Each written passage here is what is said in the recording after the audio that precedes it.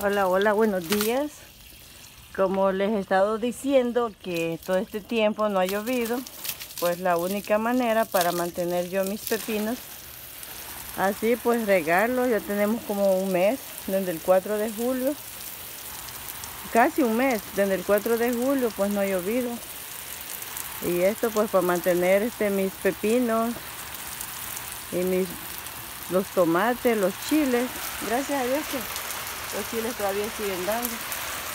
Pero así tengo que estarlos regando todos los días porque las temperaturas han subido hasta 104. Estaba todos estos días 104, pero y no ha habido nada de brisa. A veces dice que he sentido hasta 110 grados Fahrenheit.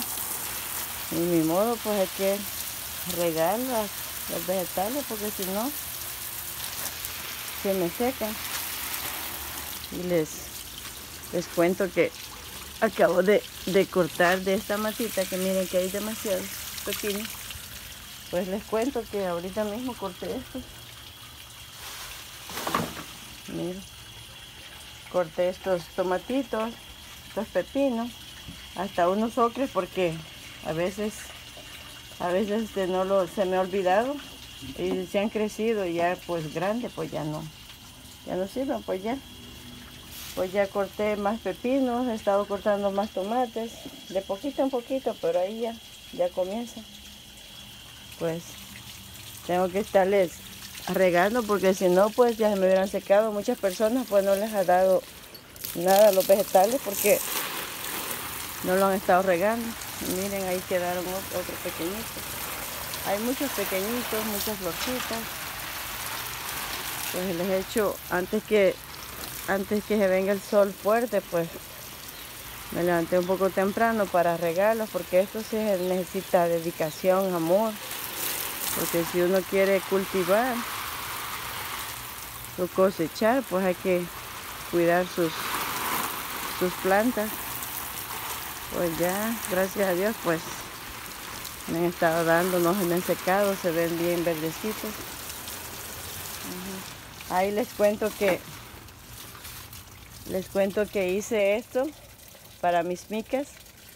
A lo, a lo que me da la imaginación, pues mire, les puse esa tira que tuve que cortar una camisa para hacer esas tiras porque es mejor, porque es más suave para ellos.